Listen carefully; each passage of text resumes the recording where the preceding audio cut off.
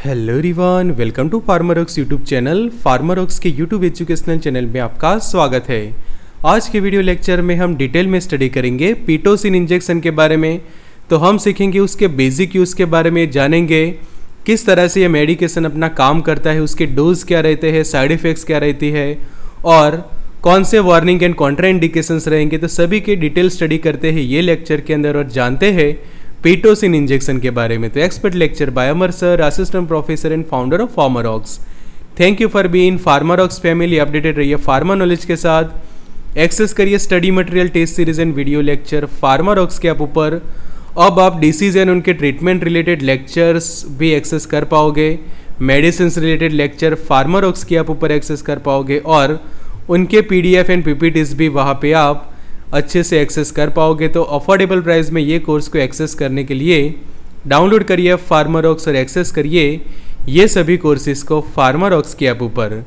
तो Android user Android app download कर सकते हैं आईफोन यूज़र ऐप स्टोर से। लिंक आपको डिस्क्रिप्शन बॉक्स में मिल जाएगी। तो सबसे पहले जानते हैं basic about the Pitocin injection तो पीटोसिन इंजेक्शन ऐसे क्लास का मेडिकेशन कहा जाता है कि जिनको हम कहते हैं ऑक्सीटोसिस हॉर्मोन्स कि जिसके अंदर मेनली हॉर्मोन्स जो है वो ऐड किया गया है, और ये हार्मोन का जो नाम है वो है ऑक्सीटोसिन तो ऑक्सीटोसिन इंजेक्शन जो है, इसके अंदर मेन जो हार्मोन है, वो है ऑक्सीटोसिन हार्मोन और इसके जो मैन्युफैक्चर आप देखो यहाँ पे तो फाइज़र जो फार्मास्यूटिकल इसके मेन मैन्युफैक्चर है. तो इसके अंदर जो हार्मोन है, इसको हम कहते हैं ऑक्सीटोसिन हार्मोन और ये मेडिकेशंस क्या करती है स्टिम्युलेट करती है यूटेराइन कॉन्ट्रैक्शंस को। तो ये हो गया उसका वर्किंग तो मेन इसकी जो कोई फार्माकोलॉजिकल एक्शन है तो वो है यूटेराइन कॉन्ट्रैक्शन करवाना। तो जानते हैं अब आगे डिटेल में तो पीटोसिन जो है उसका ब्रांड नेम है और सॉल्ट कंपोजिशन जैसे मैंने आपको समझाया तो वो है ऑक्सीटोसिस हार्मोन्स उसके अंदर मेन सॉल्ट कंपोजिशन है कि जिसको हम कहते हैं ऑक्सीटोसिन हार्मोन और मैन्युफैक्चर जैसे मैंने आपको बताया कि फाइज़र जो है उसको जो है वो मैन्युफैक्चर करता है और फाइज़र के बारे में जाने तो ये एक अमेरिकन मल्टीनेशनल फार्मास्यूटिकल कंपनी है, साथ ही साथ बायोटेक्नोलॉजिकल कॉरपोरेशन कहा जाता है और जिसका हेड क्वार्टर्स न्यूयॉर्क सिटी के अंदर आया है। और ये कंपनी जो है वो एस्टाब्लिश हुई थी 1849 के अंदर न्यूयॉर्क के अंदर। तो ये था about the information of manufacture अब जानते हैं कि ऑक्सीटोसिन क्या है सबसे पहले तो कि आपके माइंड में पहले ये सवाल ज़रूर से होना चाहिए कि व्हाट इज़ ऑक्सीटोसिन तो ऑक्सीटोसिन जो है वो एक हार्मोन है कि जिसको रिलीज़ करता है हमारा पिच्यूटरी ग्लैंड तो जब आपने हमारे ब्रेन रिलेटेड लेक्चर्स एक्सेस किए होंगे तो जिस दरम्यान मैंने आपको यह समझाया था कि ब्रेन के अंदर जो है वो एक पिच्यूटरी ग्लैंड आई हुई है और ये ग्लैंड का काम होता है अलग अलग हॉर्मोन्स को प्रोड्यूस करना तो ऑक्सीटोसिन जो हमारा हार्मोन है, वो नेचुरली हमारे बॉडी के अंदर पिच्यूटरी ग्लैंड जो है, वो रिलीज़ करती है। बट कब रिलीज़ करती है? तो स्पेशली ऐसे कंडीशंस में वो रिलीज़ होता है कि जब लेबर की कंडीशन होती है मतलब कि लेबर पेन वगैरह स्टार्ट होता है या फिर चाइल्ड डिलीवरी के दौरान ये यूटेराइन को कॉन्ट्रैक्शन करवाने के लिए यूटेरस के कॉन्ट्रैक्शन करवाने के लिए हमारी बॉडी में से रिलीज़ होता है। साथों साथ जब ब्रेस्ट फीडिंग का जो पीरियड होता है उस वक्त जो मिल्क रिलीज़ होता है, उसके लिए भी ये हार्मोन का प्रॉपर अमाउंट में रिलीज़ होना जो है वो ज़रूरी है। तो बाजू में जो डायग्राम है वो आप देखिए। तो यहाँ पे आप देख रहे हैं कि जो चाइल्ड बर्थ के दौरान जैसे ही जो बच्चे की मूवमेंट होनी स्टार्ट होती है डिलीवरी की तो उस वक्त जो हेड होता है बेबी का, वो पुश होता है।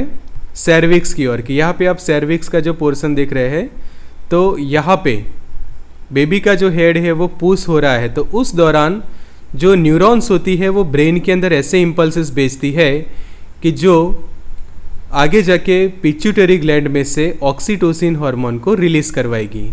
अब ये हार्मोन जब अच्छे से रिलीज़ होगा तो ये हार्मोन की कॉन्सेंट्रेशन जैसे ही ब्लड में आएगी ब्लड स्ट्रीम के अंदर जैसे ही ये हार्मोन रिलीज़ होगा तो ये क्या करेगा? यूटेरस के ऊपर अपनी फार्माकोलॉजिकल एक्शन देगा और ये हार्मोन क्या करेगा? स्टिमुलेट करवाएगा यूटेराइन कॉन्ट्रैक्शन मतलब कि यूटेरस जो बना है तो उसके जो एनाटॉमी होती है तो उसके अंदर जो है कॉन्ट्रैक्शंस होना अब स्टार्ट होता है।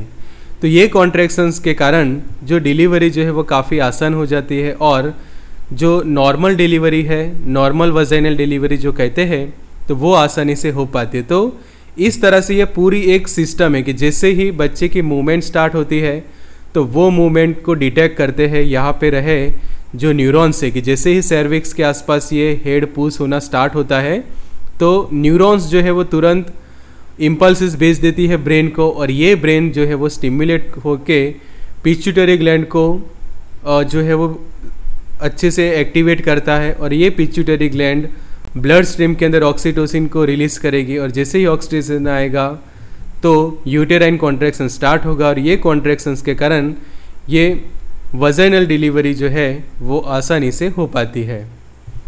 तो अब फ़ंक्शंस जानते हैं कि ऑक्सीटोसिन के फ़ंक्शंस क्या है हमारी बॉडी के अंदर, कि चाइल्ड डिलीवरी के दौरान तो उसका प्रॉपर अमाउंट में रिलीज़ होना ज़रूरी है, पर उसके अलावा दूसरे कुछ ऐसे फ़ंक्शन है कि ये हार्मोन जब हमारी बॉडी में सीक्रेट होता है तो ये क्या करवाता है?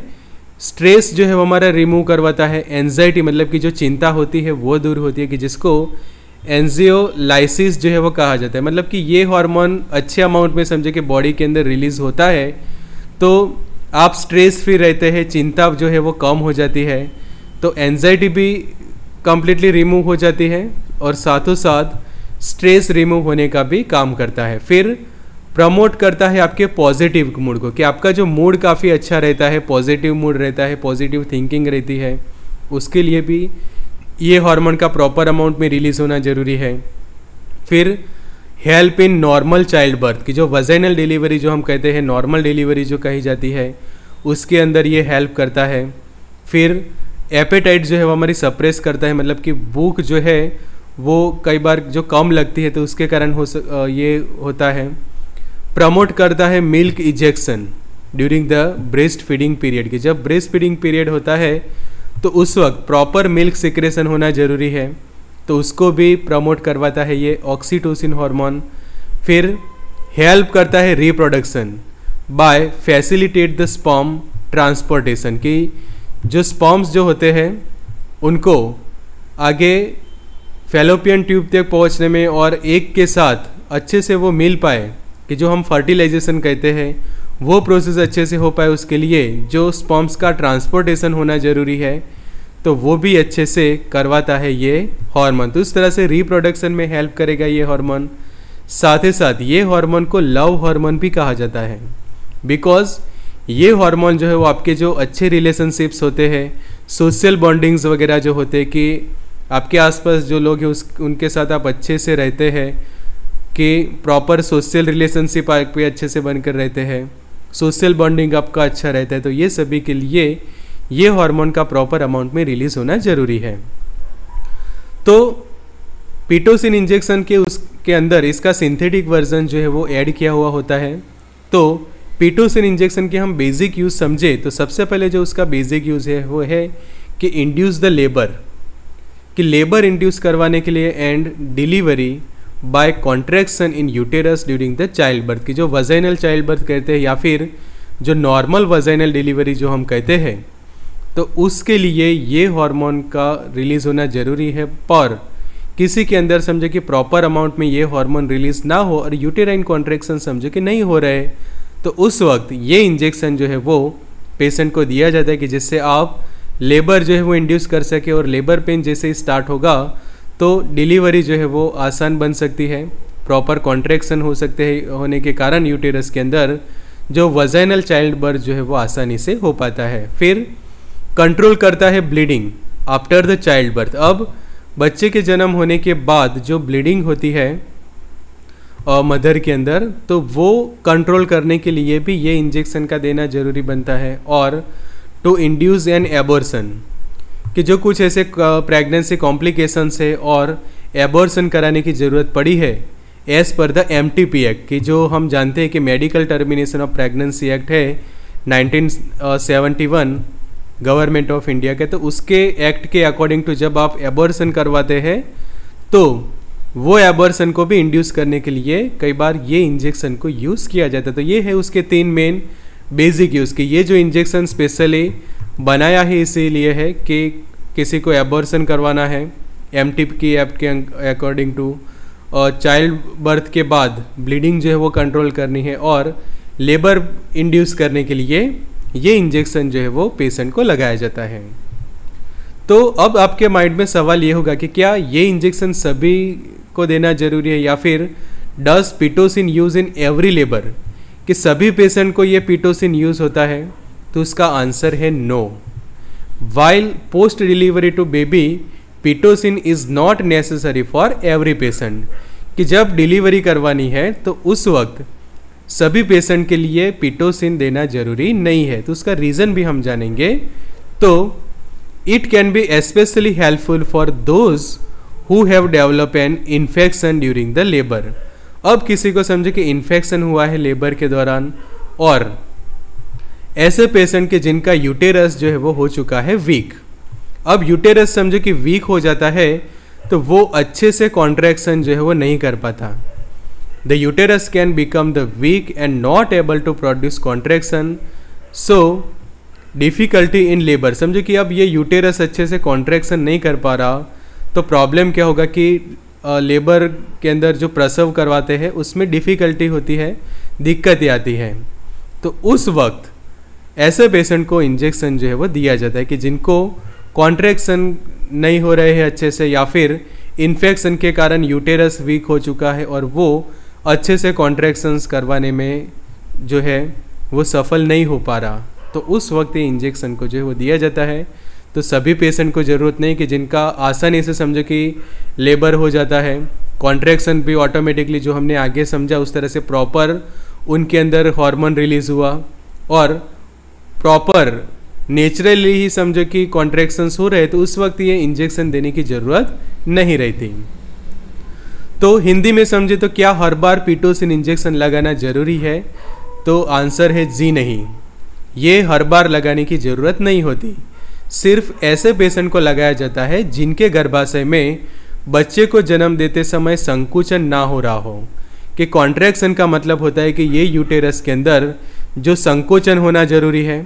अगर संकोचन हो गए तो सर्विक्स और वहाँ से आगे वजैना के थ्रू जो वजैनल डिलीवरी की जिसको हम नॉर्मल डिलीवरी कहते हैं, वो आसानी से हो जाएगी। पर कुछ ऐसे पेशेंट होते कि उनके अंदर ये यूटेरस जो है, वो जो गर्भाशय है, वो अच्छे से संकुचन नहीं कर पाता, जिससे प्रसव करवाने में काफ़ी दिक्कत आती है। तो उस वक्त ये इंजेक्शन लगाने के बाद पर्याप्त संकुचन होगा, जिससे प्रसव जो है, वो आसान बन सकती है। कि जब पेशेंट के अंदर ये संकुचन ना हो पा रहे हो नेचुरली तो उस वक्त वो पेशेंट को ये इंजेक्शन देने से क्या होता है? संकुचन होना स्टार्ट होता है। और प्रसव आसान बन सकती है कि जिससे माता और शिशु जो है वो दोनों सलामत रहे। तो ये है मेन कॉन्सेप्ट जो है है पिटोसिन इंजेक्शन के बारे में। तो अब समझना ज़रूरी है उसके वार्निंग कि कई बार आप वार्निंग्स नहीं जानते कॉन्ट्राइंडिकेशंस नहीं जानते तो सबसे पहले वार्निंग्स को समझ लीजिए। तो don't use in all cases of pregnancy and child birth कि ऐसा नहीं करना चाहिए कि हर बार आप सभी पेशेंट को पीटोसिन इंजेक्शन लगाते हैं। जैसे अभी मैंने आपको बताया कि सिर्फ़ ऐसे ही पेशेंट के लिए यूज़ करना है कि जिनके अंदर यूटेराइन कॉन्ट्रैक्शन नेचुरली नहीं हो रहा है। अगर नेचुरली कॉन्ट्रैक्शन हो रहा है नेचुरली ही वजाइनल चाइल्ड बर्थ हो रहा है तो पीटोसिन इंजेक्शन की कोई ज़रूरत नहीं है। पर खास ज़रूरी है कि सभी पेशेंट को यूज़ नहीं करना है, सिर्फ़ स्पेशल केसेस में ही यूज़ करना है। अगर यूज़ करते हैं तो कब यूज़ करना है? तो use if complications during the vaginal delivery कि अगर आप वजाइनल डिलीवरी करवा रहे हैं और कॉम्प्लिकेशन से तो उस वक्त ही यूज़ होता है। अगर सी सेक्शन करवाते हैं तो उस वक्त ये इंजेक्शन की कोई ज़रूरत नहीं रहती। Use if no proper contraction during the labour कि यूज़ तब करना है कि पहला पहला यूज़ आप कब करोगे? कि जब कॉम्प्लिकेशन से वजाइनल डिलीवरी के दौरान, कि जैसे मैंने आपको समझाया कि कॉन्ट्रैक्शन नहीं हो रहे हैं यूटेरस के अंदर, संकुचन नहीं हो रहा है गर्भाशय का तो उसी वक्त देना है। दूसरी condition use if no proper contraction during the labour तीसरा कंडीशन कि जो मेम्ब्रेन होता है, वो रप्चर हो चुका है, कि प्री टर्म रैप्चर के प्रॉपर 40 वीक्स या फिर उसके आसपास ही जो है प्लस और माइनस वन हम कंसीडर करें तो उस वक्त जो है, वो मेम्ब्रेन जो होता है, वो ऑटोमेटिकली रप्चर होता है पर प्री टर्म प्री टर्म मतलब कि समझो कि 35 वीक्स के आसपास समझो कि मेम्ब्रेन जो है वो रप्चर हो चुका है और उस वक्त जो फ्लूड है वो समझो कि कम हो रहा है कि जो पानी होता है जो हम कहते हैं नॉर्मल लैंग्वेज के अंदर, वो जो है वो अब कम हो रहा है। बच्चा अच्छे से मूवमेंट नहीं कर रहा है और उस वक्त ज़रूरी है डिलीवरी करवाने की। तो उस वक्त वजनल कॉन्ट्रैक्शंस करवाने के लिए और लेबर इंड्यूस करवाने के लिए ये इंजेक्शन जो है वो फिर आप दे सकते हैं।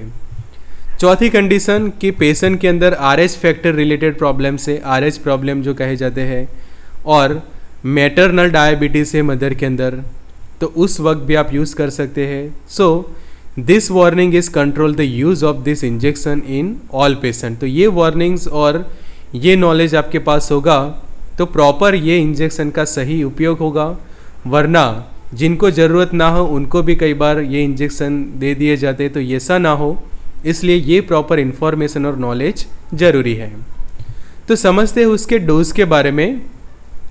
तो यहाँ पे जो डोज है वो प्रॉपर देना चाहिए और स्पेशली इंट्रावेनस रूट से आईवी जो है वो ये इंजेक्शन जो है वो खास कर दिया जाता है और वो भी प्रॉपर ट्रेन हुए मेडिकल सुपरविज़न या फिर प्रॉपर जो ट्रेन मेडिकल स्टाफ होता है, उनके थ्रू ही ये इंट्रावेनस रूट से ये इंजेक्शन को जो है वो हॉस्पिटल के अंदर ही दिया जाता है। ये खास समझिए। ये इंजेक्शन जो है सिर्फ़ हॉस्पिटल यूज़ के लिए होता है।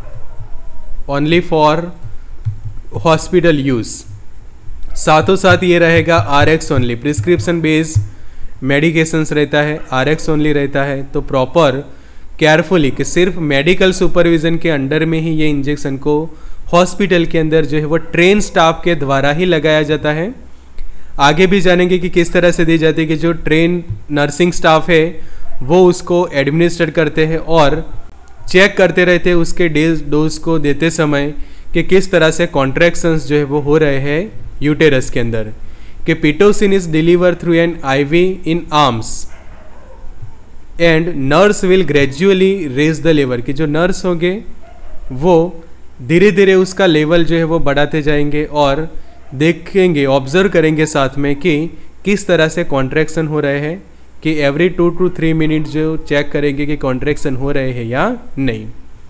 फिर आप जानोगे आपके माइंड में क्वेश्चन ज़रूर होना चाहिए कि उसके कंटेनर के ऊपर तो इंट्रामस्कुलर भी लिखा है कि फॉर आईवी एंड इंट्रामस्कुलर तो इंट्रामस्कुलर इंजेक्शन तब दिया जाता है कि जब प्रॉपर डिलीवरी हो जाती है, कि चाइल्ड बर्थ होने के बाद।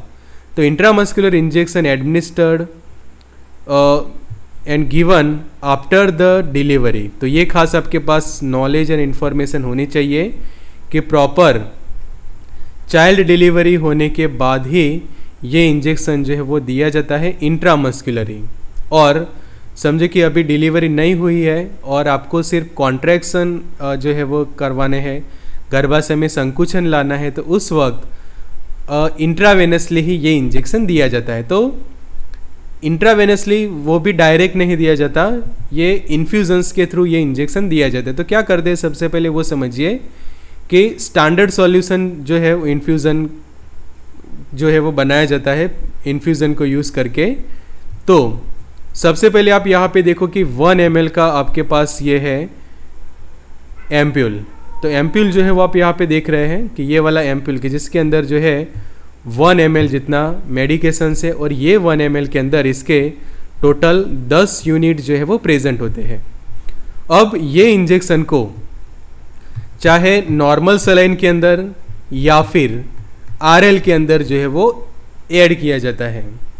तो अब क्या हुआ? ये वन एम का डाइल्यूशन हो गया ये वन थाउज़ेंड के अंदर की। जो टेन यूनिट्स जो थे, वो ये वन थाउज़ेंड के अंदर अब आ गए कि चाहे आप point nine percent aqueous solution लोगे सोडियम क्लोराइड का, जिसको हम कहते हैं नॉर्मल सलाइन सॉल्यूशन या फिर आप जो यूज़ करोगे ये 1000 थाउज़ेंड का आरएल तो मतलब ये होता है कि 1 एम जो है, ये इसके अंदर एडमिनिस्टर हो जाएगा और उसके बाद ही ये जो है वो स्टैंडर्ड सॉल्यूशंस तैयार होने के बाद ही इसमें से पेशेंट को जो है वो स्लोली आईवी इन्फ्यूज़न दिया जाता है और साथ ही ऑब्ज़र्व किए जाते हैं उसके यूटेराइन कॉन्ट्रैक्शंस तो इनिशियल डोज क्या रहेगा? Should be point five to one milli unit per minute कि पर मिनट आप इतना ही इंजेक्ट करेंगे कि इस तरह से प्रॉपर डोज पेशेंट के अंदर जाना चाहिए कि एक मिनट के अंदर, एक मिनट के अंदर 0.5 से लेकर वन मिली यूनिट जितना ही मेडिकेशंस पेशेंट के अंदर जाए उस तरह से, कि equal to three to six M L of the dilute oxytocin solution per over की जो आपने डायल्यूट सॉल्यूशन जो बनाया, वो at least three to six M L जितना जाएगा तो हम कंसिडर कर पाएँगे कि पेशेंट के अंदर पॉइंट फाइव से लेकर वन मिली यूनिट जितना जो है वो ये मेडिकेशंस उसके बॉडी के अंदर जा रहा है। और साथ ही साथ रेगुलर ऑब्ज़र्व किए जाते हैं कि जिससे आपको जो है वो पता चले कि कॉन्ट्रैक्शन हो रहा है या नहीं।